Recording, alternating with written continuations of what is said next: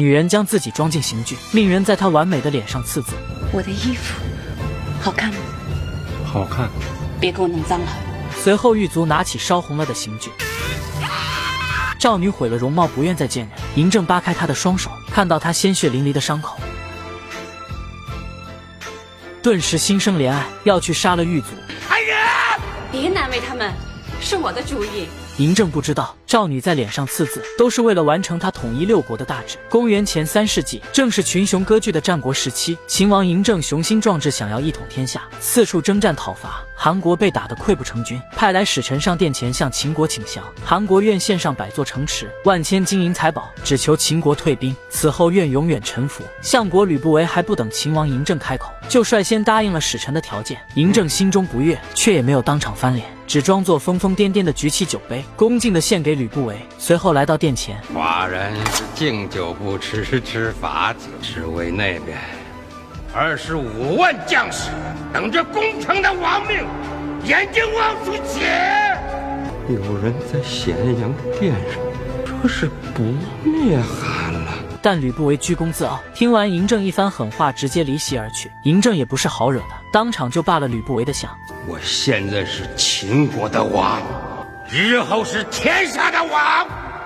随后，嬴政又将满腔的愤怒全都宣泄在嫪毐身上。他是太后的男宠，扮作宦官侍奉在侧。得知嫪毐恐高，就将他推向悬桥。嫪毐吓得双腿直哆嗦，颤颤巍巍地向前走去。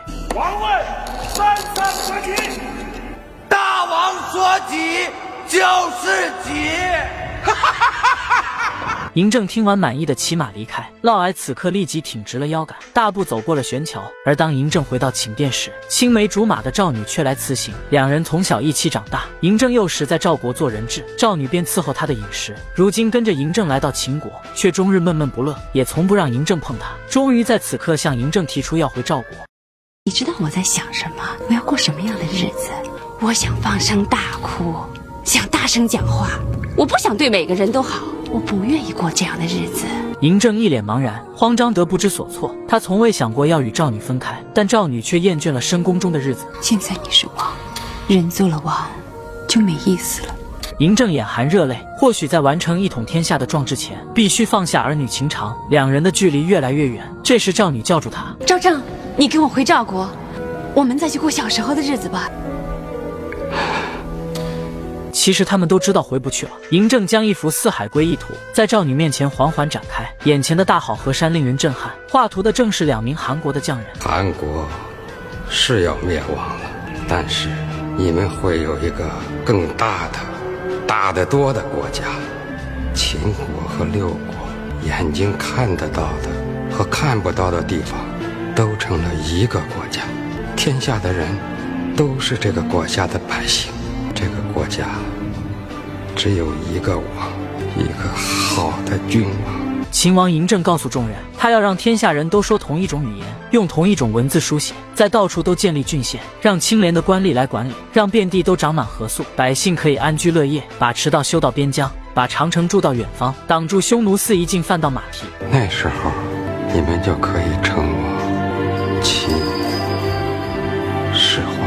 嬴政一统天下的设想彻底感动了赵女，她答应留下来，渴望有一天能看到这样的太平盛世。公元前二百三十年，势不可挡的秦军一举攻下韩国，燕国太子丹找上了嬴政。他从小与与嬴政一同在赵国做人质，如今也却成了嬴政的人质。嬴政想要一统天下，导致战乱时期，下一个就要轮到燕国。太子丹拔剑要与嬴政同归于尽，但嬴政却告诉他：“你杀了我，这件事也会有人做的。”燕太子丹最终还是没能说没动手，离开时赵女却叫住了他。燕丹，你是个孬种。在秦王正苦恼没有借口攻打燕国时，赵女想出一个计策，让嬴政将太子丹放回去，他必定会找会好的杀手来刺杀嬴政，到时候就能名正言顺的攻打燕国。而为了获取太子丹的信任，赵女特来到死牢。我要你。在我脸上也签个字，吓死小人了！小人不敢，小人不敢。但最终还是有胆子大的动了手。嬴政看到当场就要杀过去，但赵女却觉得这很值得。看到嬴政心怀天下百姓的胸怀，她也想为他做些什么。你说过要救护六国的百姓，让天下人过安生的日子，我相信你说的话。因为像罪犯一样被擒了字，赵女获得了太子丹的信任，与他一同前往燕国，也就是此行，将刺客荆轲与秦王的命运串联到了一起。而赵女此番而爱前行，不想最后却是他一手推动荆轲刺秦王。盲女缓缓靠近刺客的剑，杀了我！你不杀我，我就要一辈子跪下乞食。刺客杀了盲女全家，却唯独留下她一人。盲女不愿独活拔剑自杀，临死之前，她想知道杀她全家的人叫什么。她诱骗刺客帮忙拔出匕首，待刺客靠近，突然出剑，却不想对方用的竟是左手，就这样抱憾而终。哎，我是荆轲。哎哎。原来他便是战国时期著名刺客荆轲。盲女的死给他留下了阴影，从此不再杀人，还特别爱惜孩子。这天，荆轲在吃饭时撞见一个孩子因为偷馒头被老板发现，悬在了蒸笼上。听到小孩的求救，他心生怜悯，请老板开恩给孩子一口水喝。老板却开始百般羞辱，让他下跪。荆轲立马就跪了。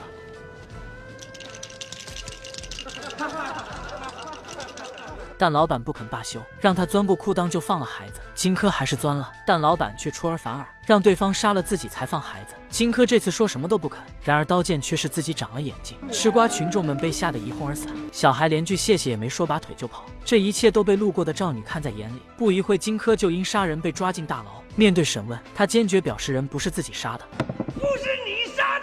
怎么会在这儿？面对严刑拷打，荆轲依然不认罪，眼看人就要被折腾死。赵女在此时赶到，将他救下，随后就将刺客荆轲带到了太子丹面前。太子丹大喜，当即就命令荆轲去刺杀秦王嬴政。但荆轲表示自己已经金盆洗手，难以担此大任。太子丹见荆轲油盐不进，将压力给到他的人质赵女身上，让他在三个月之内说服荆轲去咸阳刺秦王。赵女来到荆轲住处，这才从其好友高渐离口中得知，他的伤过两天会好的，他的心难了。